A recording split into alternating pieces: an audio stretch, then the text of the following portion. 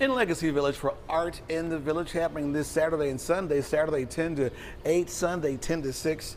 Over 100 artists. Trish, your stuff is really cool. Okay, so you, t- you take a picture, Yes.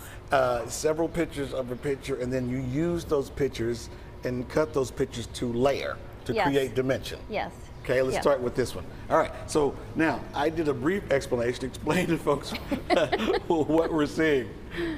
Um, this is a photograph of a dance student of my, from my sister's dance studio. So I just took it and I actually ran it through a few filters, gave it some more color. Actually, she wasn't wearing any of this costume at all, so I kind of embellished it with some netting on her legs and then added some bling for her uh, onto her costume. So I cut out each layer, and as I cut out the layers, they get more more detailed as it comes to the top. Mhm, And then over here, this is really cool. Where was this? This was in Maine. Um, these were buoys. Of course, it's called buoys on the corner. So these were um, just several layers of buoys, and the, and the buoys in the background, of course, have less layers, and the buoys in the foreground have more.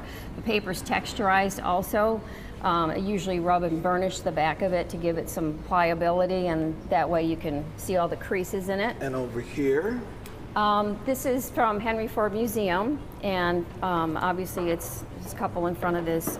I don't remember if it's a Duesenberg or not, but anyhow, uh, so those layers are built up in the plane. I love the plane. That was a metal plane, so I actually crinkled each of those little dents in the Okay.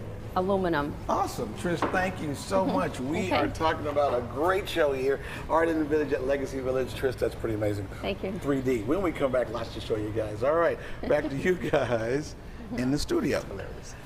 Beautiful stuff. Thanks, Cora. Thank you. Appreciate it. Love it.